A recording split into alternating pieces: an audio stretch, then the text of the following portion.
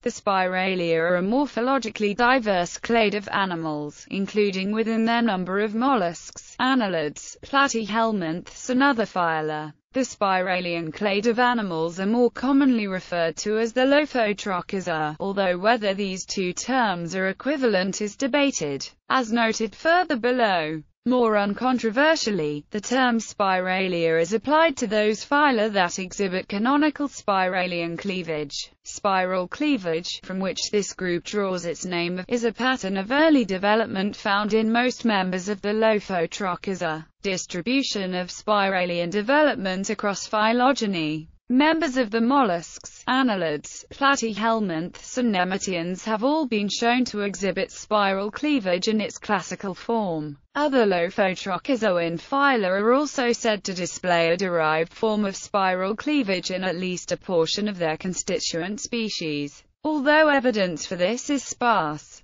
Equivalency of Lophotrochozoa and Spiralia Previously, Spiral cleavage was thought to be unique to the Spiralia in the strictest sense. Animals such as mollusks and annelids which exhibit classical spiral cleavage. The presence of spiral cleavage in animals such as platyhelminths could be difficult to correlate with some phylogenies. Evidence of the relationship between mollusks, annelids and lophophorates was found in 1995. More recent research has firmly established the Lophotrochozoa as a superphylum within the Metazoa. With this new understanding of animal phylogeny, the presence of spiral cleavage in polyclad platyhelminths as a consequence of this hypothesis, spiralia is occasionally used as a synonym for Lophotrochozoa, although the veracity of this statement is not established.